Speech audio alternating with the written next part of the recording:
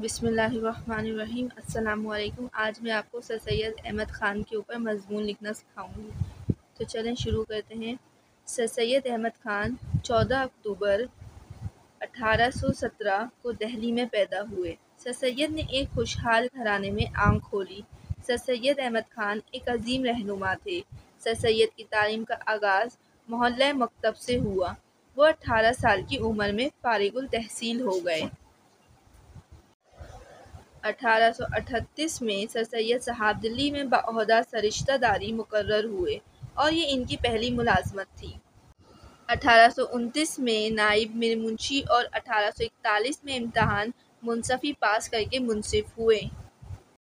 1846 से लेके अठारह तक वली के सदर अमीन रहे। इस ज़माने में अपनी मशहूर मरूफ किताब असारुज़नायत लिखी।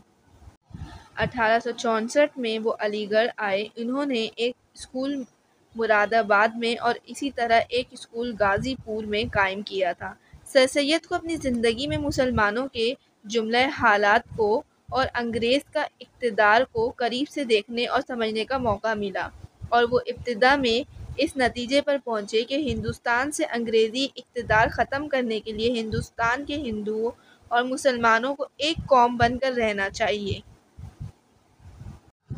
लेकिन वक्त के साथ साथ ये हकीकत इन पर वाजिया होती गई कि हिंदू और मुसलमानों का कोई सियासी इतिहाद मुमकिन नहीं।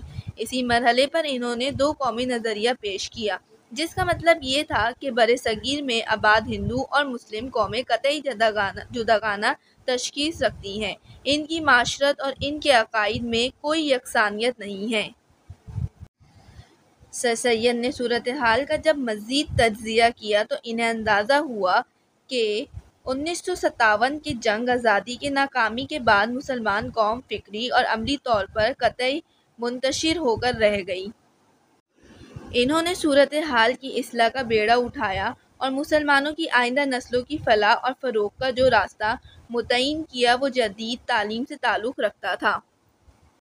मुख्तसरा सर सैद ने अपनी फ़िक्र और अपने कर्म दोनों से बड़े सग़ीर के मुस्लिम माशरे और को तरक्की पसंद रुझान से आशना किया। वो अपने मिशन में आखिर वक्त तक साबित कदम रहे।